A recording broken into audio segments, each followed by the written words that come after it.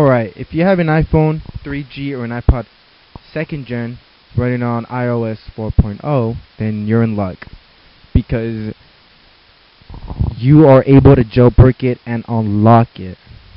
Now, for those of you who have an iPhone 3GS or an iPod Touch 3rd gen, please stop watching this video. Because this is only for users who have an iPhone 3G or an iPod 2G. Alright, so let's get started.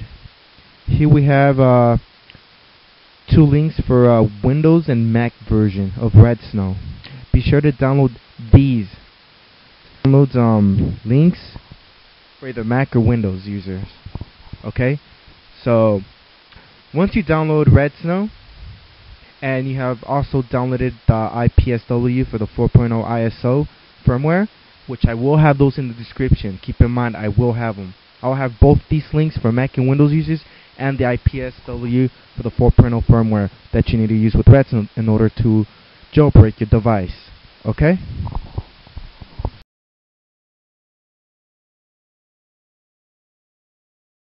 Okay, so once you have all that ready, you're going to go to Redsn0w and you'll be taken to this window. All you have to do is browse for the IPSW 4.0 let me see where I have mine. I have mine in downloads. Okay, wherever you saved yours, it should be there, right here. It's iPhone 1, comma 2 underscore 4.0 underscore 8 A293 underscore restore to IPSW. That's the one you need. Go ahead and click it. It's processing the firmware to check it is the right one. May take a, a moment.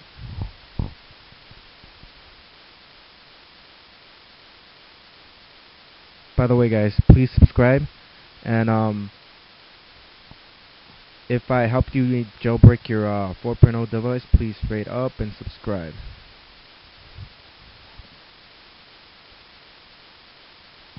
Okay, it says it's successfully identified. Now what you want to do is click next. And th all this is going to happen. This is normal.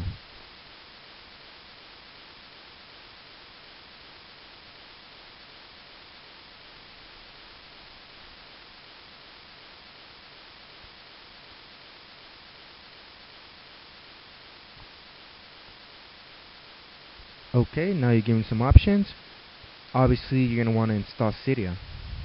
We have Verbose Boot, custom boot logo, custom recovery logo, enable multitasking, enable home screen wallpaper, and finally enable battery percentage. Now basically, since obviously you guys are uh, having iPod second gen and an iPhone 3G, for the for the original 4.0 it does not have multitasking and neither does it have a home screen. It doesn't give you the option for home screen wallpaper nor a battery percentage. Okay, so uh, you guys go ahead and uh, check the ones you need, but choose carefully. Um, for me, I chose the custom boot logo. Oh, my bad.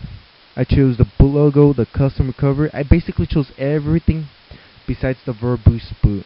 I don't know if you guys want to have that or not. It's your choice.